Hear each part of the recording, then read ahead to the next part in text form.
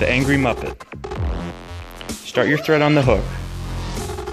Right back to the bend and cut the tag end of thread off. Go to the hide of craft fur and cut a piece off about a, a pencil's width in width. Strip out all the undesirable fuzzy fibers. Take it in your good hand and measure it about two times the hook length. Wrap it in front and take wraps of thread back to the bend. Cut the undesirable fluffy part off. Secure the rest of the fibers. Take a marker and evenly bar the tail.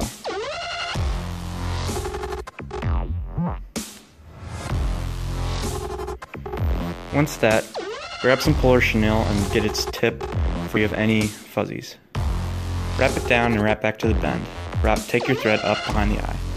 Take nice touching wraps of the polar chenille up the hook shank, pushing the fibers back as you go so they don't get trapped within each wrap.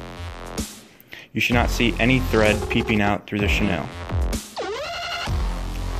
Once you get up to the thread, tie it off.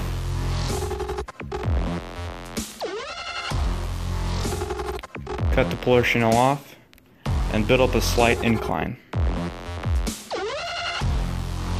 Take a rubber leg, fold it over the thread, and tie it down on the near side of the hook. Do the same with another rubber leg on the far side.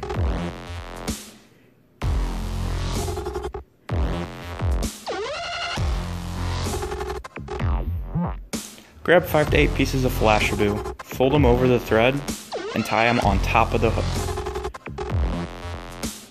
Build up a cone head and whip finish the back portion of the streamer.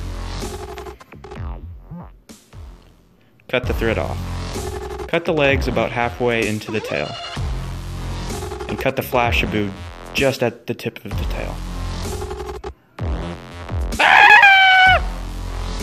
Start your thread on the hook. Cut back to the bend and dip a little bit. This will help when tying in the wire. Build up a ball of thread. This will help secure the wire to the hook. hook. It'll make a kink and less likely to pull out when a fish is on the back hook. Take the wire, tie it in, bend the front of the wire back and tie that down. This will also help with the wire not pulling out. Wrap down. This will keep the hooks straight together when you put beads on them and attach the other back of the fly.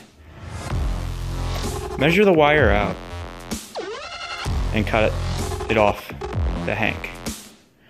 Slip three large glass beads onto the wire.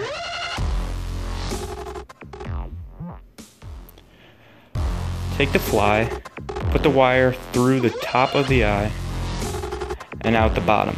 Then thread the wire through the beads and bring it back over the second hook. Tie it down. As you can see, dipping the thread into the bend help the two hooks ride straight with each other. Now bend that end of wire and wrap it on the near side. Take some Sally Hansen's and glue the wire down. Take another piece of craft fur and strip out all the fuzzies.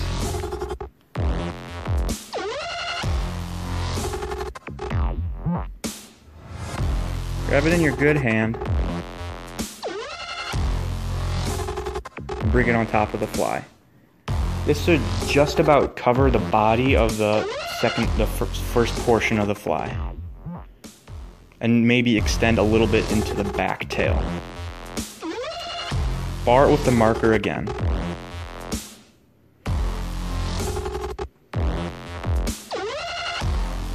The marker does squeeze the fibers in a little bit, but it will come alive in the water.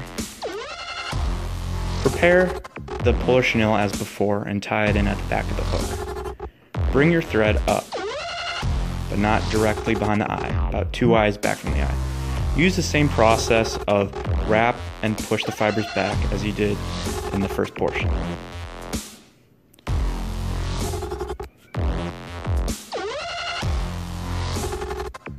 As you go up, once you reach the thread, tie it off again.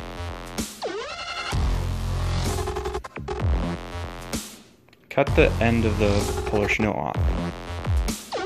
Push all the fibers back.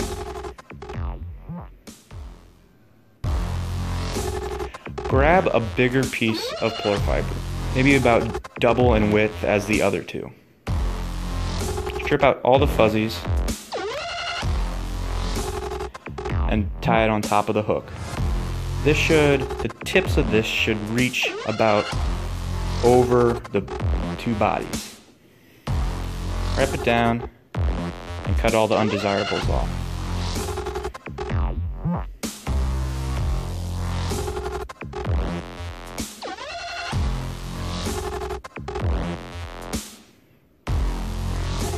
If the top still looks a little sparse, add another clump. And cut the undesirables off. Put up a good base. And bar as just before with the marker.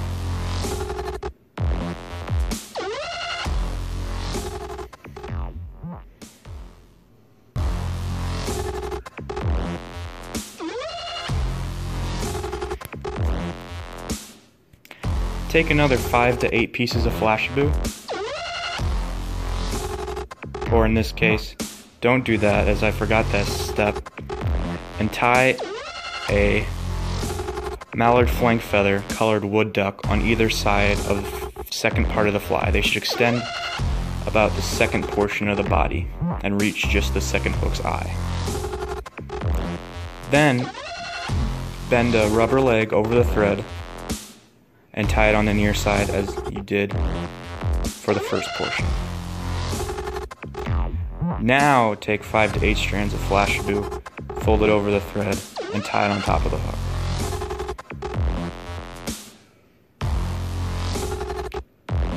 Cut the Flashabou off, just extending back towards the back and the last part of the craft fur tied in. Take cross wraps to secure dumbbell eyes under the hook. As this will ride hook down.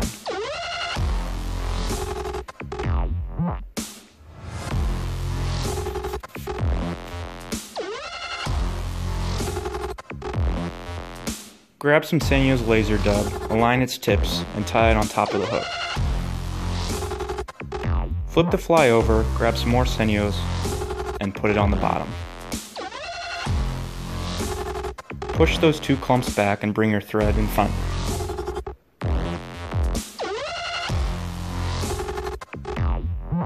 Grab another piece of Senyo's to build up the front of the fly. Once you do that, take a couple more wraps in front. Kind of stroke the fibers back, make it look the way you want. Some will come undone, but that's okay do a couple whip finishes behind the dumbbell eyes. Cut the thread off and cut the rubber legs to length. They should just about hit the barb of the second portion of the hook. Glue the head. Make sure none gets in the eye, and that's the Angry Muppet.